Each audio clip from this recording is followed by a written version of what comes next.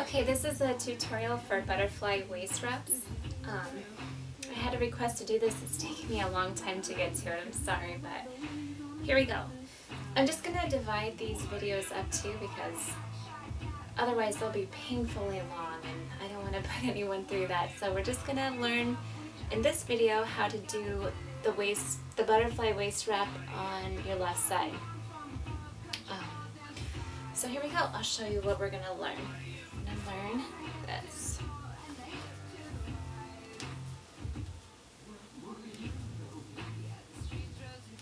Okay. Um, another thing, I I just noticed that my socks and my toy match, which is totally ridiculous, but anyways. Um, okay, the first thing we want to learn for this trick is that before you throw it on your left side, you have to learn to get a nice clean pass behind your back, like this. It's important that your right poi passes behind you close to your body and your left poi passes, gives it plenty of space to pass behind your back. Like so. This is a good perspective of what I'm trying to say.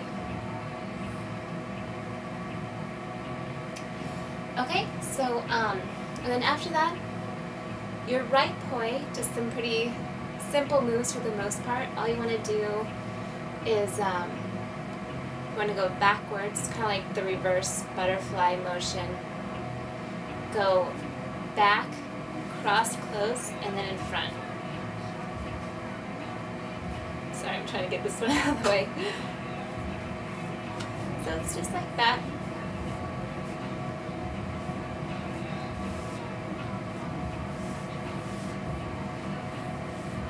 And then your left poi um, is even more simple. You just want to go back like the reverse butterfly again. Then it crosses behind your back, um, kind of far away. Remember to practice it far from you. And then finishes in front. Uh, so it just goes like this. Up, cross, front, front, like that.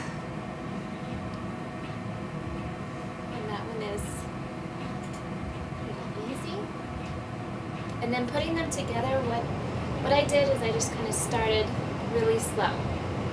I put my arms out like this, and then I did the cross and back, and then did the combination of the actual move on my left side. So here we go. So I went cross, throw it, done. Cross, throw it, done. And then once you kind of get the hang of, you know, feeling that, then, you know, you can start playing with how you want to um, build up to it and play with what you want to do. Um, so the next video is going to be on the right side. Okay, good luck.